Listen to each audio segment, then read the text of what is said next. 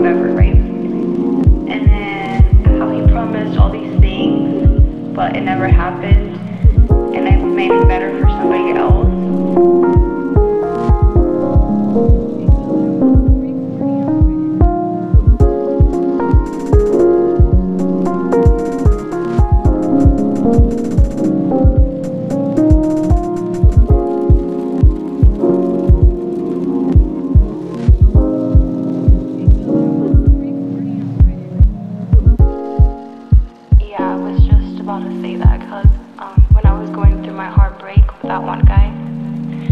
That's kind of how I felt.